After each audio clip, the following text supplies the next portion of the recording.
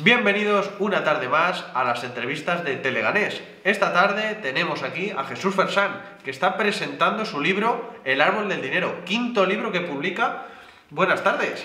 Buenas tardes y muchas gracias por la invitación, Alex. Bueno, coméntanos el libro Solidario. Pues, pues sí, la verdad es que ha sido una, una, una publicación solidaria que como no me dedico a la escritura en cuerpo y, alma eh, ni vivo de ella, pues eh, evidentemente mis anteriores libros van ligados a una acción solidaria y este no iba a ser menos. Eh, todas las regalías, todos los beneficios irán destinados al Instituto de Murciano de Investigación Biosanitaria que dirige Encarna Guillén, eh, que, bueno, eh, enfatiza sobre una de las enfermedades raras que, muchos de los niños españoles padecen, como es el síndrome de LM eh, Phelan perdón, y, como ya os digo es una enfermedad rara que, que, tiene síndrome autista y, bueno, eh, gracias a mi buena amiga prologuista Raquel Sastre, que su hija Emma, su tercera hija, una preciosidad de niña, eh, padece este, este síndrome y, bueno, yo quería ayudar un, poquito con, el, con las regalías del libro. Bueno, y como, como aquel que dijo, he venido aquí a hablar de mi libro, cuéntanos un poquito, ponnos la, la miel en los labios sobre este libro.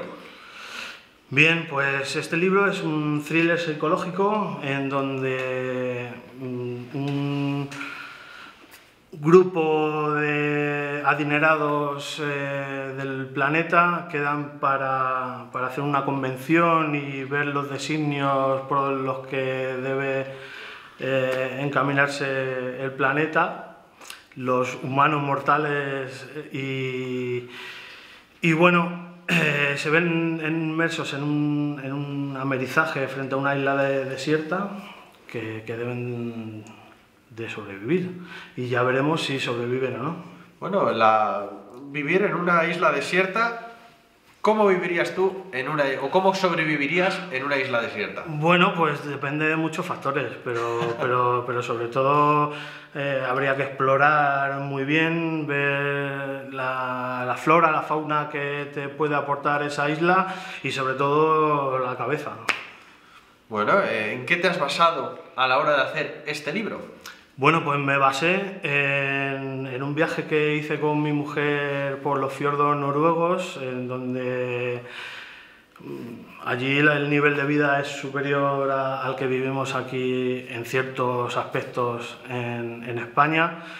Y, bueno, quise, quise confabular contra aquellos adinerados del mundo mundial y, creo que ha salido una novela muy chula. Les hago pasar unos momentos muy, muy, muy, muy malos y muy buenos también. O sea, te, has divertido haciéndoles sufrir, ¿verdad? Sí, sí, sí, sí. Y ellos me han hecho sufrir a mí también. ¿Ah, sí? Sí, sí, sí. sí, sí, sí, sí, sí, sí, porque me ha pasado una cosa muy divertida con, con esta novela. Y es que con el transcurso de la escritura eh, yo iba enfocado y directo a un desenlace final y, han surgido varios escenarios que nunca hubiese planteado desde un inicio, pero que me han dado una satisfacción y a ellos no tanto. Vamos, que te lo has pasado bien haciéndolo. Sí, sí, sí, me lo he pasado infinitamente bien y, y he de decir que esta novela estaba escrita ya desde hace un par de años, pero bueno, unas cosas u otras eh, lo hemos pospuesto y ahora ha llegado el momento para que todos disfrutéis de, esta novela que os, he propuesto. Bueno, vienes de, hacer una trilogía y ahora, ¿cuál es la, libertad de estar en un libro, por así decirlo, único, no sé si va a haber segunda parte, a estar ya atado a una trilogía? Pues muy buena pregunta. Eh, y, quiero enfatizar que lo de la trilogía viene porque se extendió tanta la historia que, propuse que siendo un don nadie tuve que repartir entre, entre volúmenes. Entonces, bueno, eh, ya siendo un mero eh, caminante en esta senda del mundo literario, eh, ya voy enfocando si quiero que se, se extienda más o menos esa, esa, historia. Y en este caso sí que tenía claro que iba a ser una novela autoconclusiva y que iba a haber un desenlace y un final. Muchos, muchísimos ejemplares se tienen que dar y tiene que haber una gran expectación para que se pueda dar la posibilidad de continuarla, porque cualquier historia, aunque sea muy, por muy rocambolesca que sea, se puede extender. a ti, si ahora mismo te, te, llegaran y te dijeran, queremos segunda parte o, o, cualquier cosa, ¿a ti te gustaría hacer otra trilogía o te gustaría hacer más libros individuales? Ahora mismo eh, me gustaría seguir con proyectos que tengo aparcados. Los hay, hay varios. Eh, incluso la trilogía se podría extender, eh, pero eso depende mucho de la demanda que haya de, lectores y lo mucho que me pongan en el cuchillo, en el cuello. Bueno, y coméntanos, El árbol del dinero, ¿por qué ese título? Bueno, eh, una, gran pregunta. El, título es fundamental a lo largo de, la historia y cuando se haya leído el libro, el título es, eh, os va a venir a la mente y ya no lo querréis olvidar nunca. No voy a desgranar nada, pero, pero tiene mucho que ver dentro de, la isla y de la, historia. Bueno, nos has comentado de que hay un, personaje, un protagonista muy fuerte. ¿Qué tiene este personaje? Estoy muy, muy orgulloso de, haber creado a Pete Alonso. Eh, es el único no adinerado que, que aparece en la, en la isla. Eh, a veces le quieres matar, a veces le quieren matar, a veces le quieres rescatar y sin él mm, nada podría, mm, podría pasar. Entonces, muy, muy orgulloso de él y del final. Eh, me han dicho, tanto correctora como editorial, como lectores betas, que el final es eh, primordial porque nadie se lo espera y, eso espero. Yo, de, de, vosotros, lectores, que lleguéis a un punto final que digáis, mm, pero ¿en qué embrollo ha metido a esta gente para este final, este, este Jesús Fesan? Bueno, y a la hora de, tener una idea de un personaje a tener un, personaje y dices, wow, ¿cómo, ¿cómo se llega a eso? Eh, estructura, estructura, estructura y estructura. Eh, evidentemente cuando, en mi caso, quieres estructurar un libro, sin personajes potentes casi no vas a ningún lado. Dentro de la historia te van surgiendo ideas para otros personajes, protagonistas o no, pero sin un personaje, un protagonista principal o protagonistas principales, la historia tambalea. en mi caso es lo que he aprendido de muchos libros que he leído de, estructuras y, conformaciones de los libros. Y para hacer la, figura de, de, Pete, ¿en qué personajes eh, te has inspirado?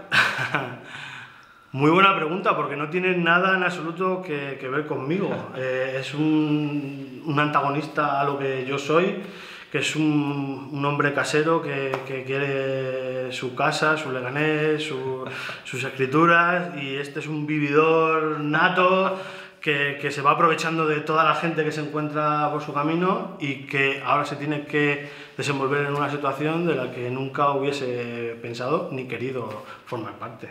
Bueno, ya aspectos técnicos del, libro, eh, ¿qué simboliza la portada?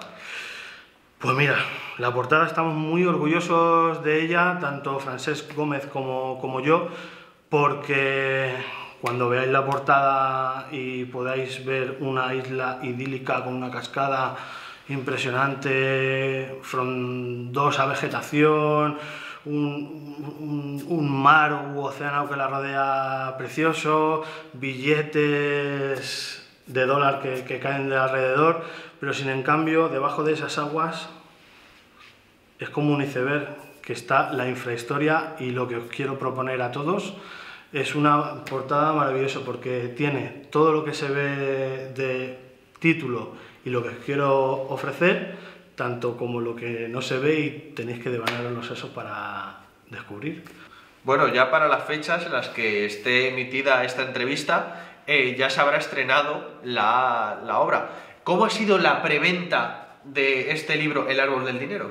Pues, pues muy bien, la verdad. Eh, nace bajo el, el sello de una editorial nueva, eh, Valhalla Ediciones, que es eh, cántabra.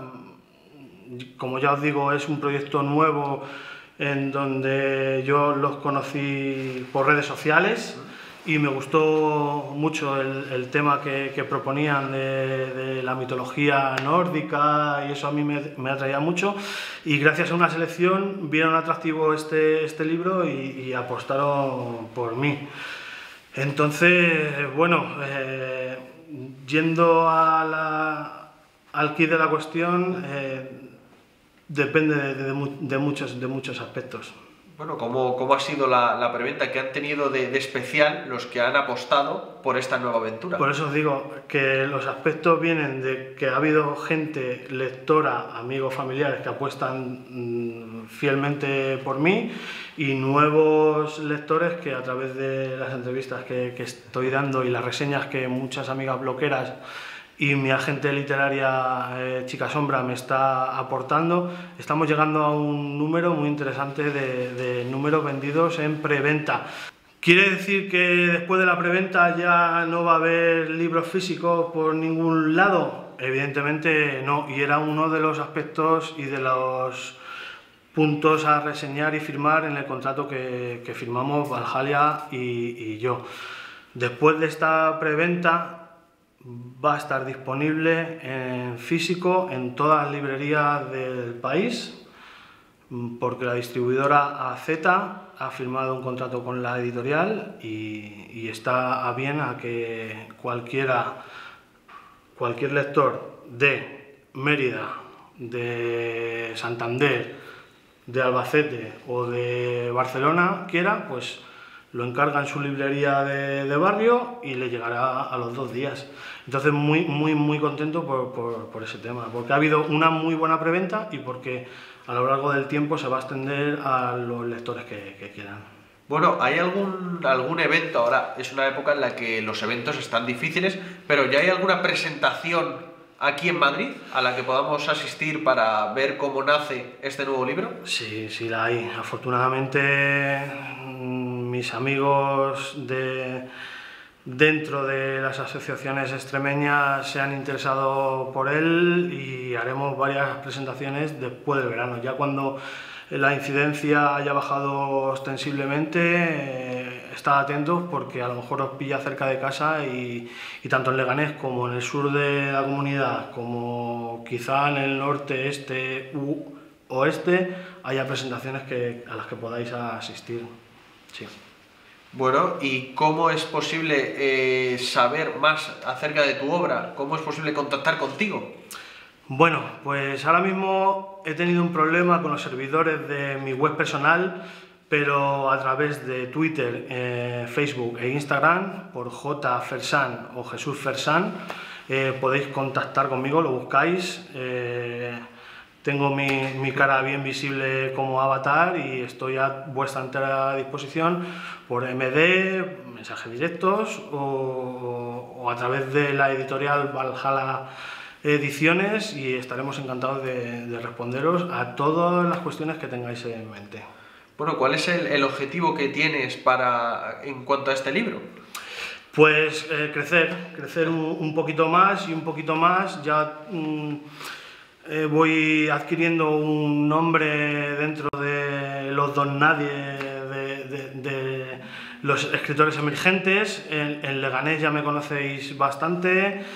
Eh, mis familiares y amigos están deseando que, que, cuente más historias. Yo estoy eh, en constante crecimiento y aprendizaje para que las historias tengan el nivel y la calidad que os merecéis y que yo también quiero, quiero ofertaros. Entonces, hay proyectos, cada vez vamos creciendo más, yo estoy súper orgulloso de lo que estamos haciendo y, y, encantado de que me podáis dedicar unos minutitos para conocer más de mi obra y de mí.